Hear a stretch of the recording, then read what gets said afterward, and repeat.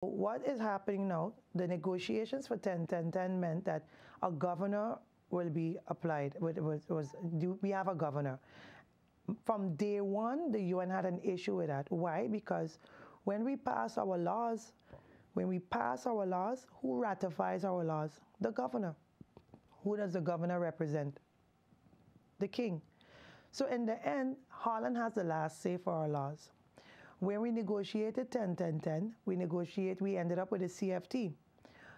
But remember, Article 73, which I should have mentioned before, means that you have to, the country that you colonize, you have to um, bring it up to a level that it is, them. prepare them financially. So when we, when we broke off from Netherlands Antilles, Netherlands Antilles had a federal, listen to me good, federal deficit about, of 2 billion guilders. St. Maarten had a fraction of that. St. Maarten was accountable for a fraction of that.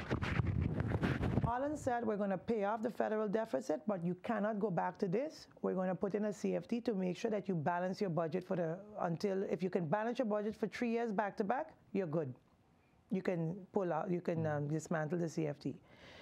St. Maarten on its own now had uh, a def, uh, had, uh, we had, we owed, we owed about 180 million guilders.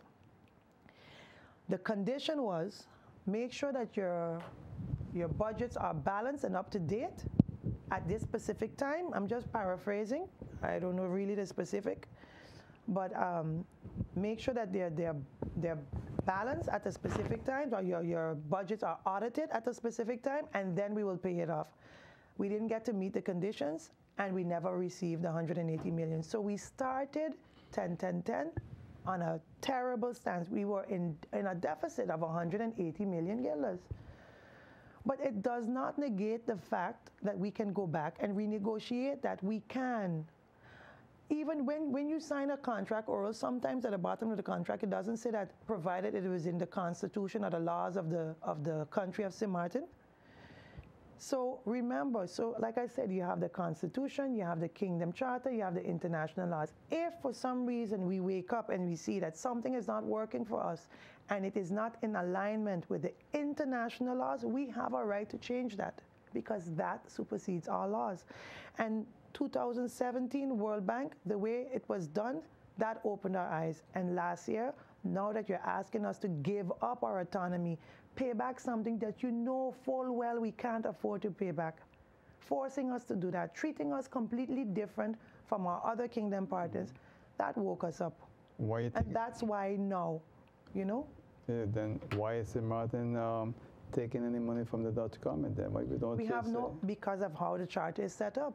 Remember, the Minister of Finance did have a plan B. He was going to float a local bond. But as soon as SSS um, State Secretary Knops and the um, CFT found out that we were floating a bond locally, mm -hmm. they blackmailed us. They told us plain out, next week you have a 50 million um, guilder bond that's going to be matured. If you continue with this, we will block you. We will force you to pay the 50 million and put you in a bigger deficit. That's a blackmail.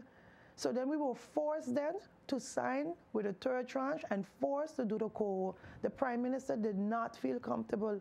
That was her only, that was her one opportunity to do something locally. We are not allowed to borrow internationally unless Holland says it's okay.